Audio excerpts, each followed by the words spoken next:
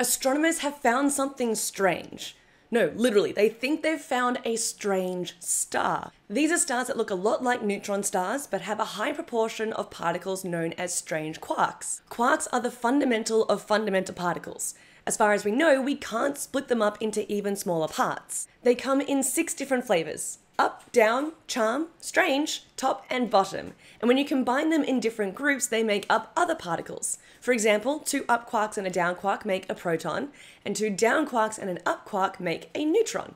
Okay, back to the star. So this star looks a lot like a neutron star, but it's a lot lighter than theory suggests, weighing in at just 77% the mass of the Sun. The lightest neutron stars should be, according to current understanding, is just 1.1 times the mass of the Sun. So this neutron star is small. But we didn't always think it was this small. Previous estimates of the mass of this neutron star range between 1.5 times the mass of the Sun and 2.2 times the mass of the Sun, which are perfectly reasonable masses for neutron stars. So why did the mass of this neutron star seemingly go down? When we estimate the mass and radius of neutron stars, those measurements are largely affected by the distance we think the star is away from Earth. If we don't have an accurate distance measurement, that makes it difficult to accurately measure the mass and radius of these stars. But recently, another star was found hanging out with this potentially strange star, and with the help of the Gaia spacecraft, which is notorious for finding accurate distance measurements, the distance estimate to this neutron star or strange star was refined to 8,150 light years,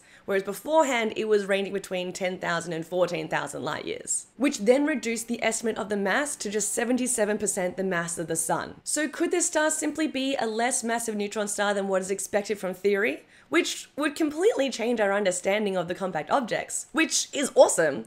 Or could it be a more elusive object that we've never found before? A strange star, which would be even more awesome. As observations continue, our understanding continues to grow and evolve. And that's what science is all about.